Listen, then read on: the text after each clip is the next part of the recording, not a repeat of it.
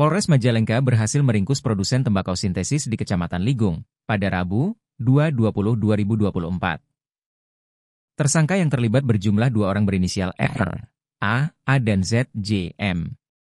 Diketahui dua orang ini memiliki peran berbeda, R, A, A sebagai peracik dan Z, J, M menjadi kurir. Hal itu terbukti saat penangkapan, R, A, A sedang membuat bahan baku tembakau sintetis dengan campuran daun kecubung.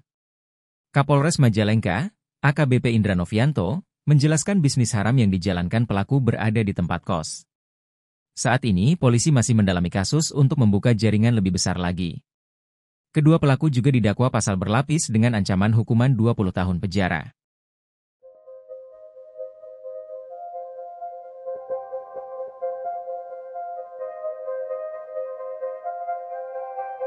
Download Tribun X sekarang menghadirkan lokal menjadi Indonesia.